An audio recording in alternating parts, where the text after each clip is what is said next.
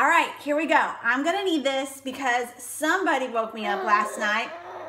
I need the Energize to get me through this 25 minute workout. It's my first workout with Shift Shop starting the program this week. He's so excited about it already too.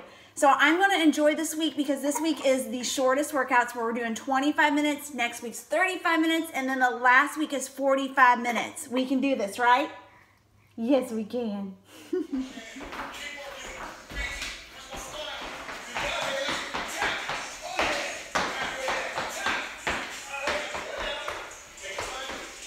ahead, place my hands flat on this turf. I'm gonna travel.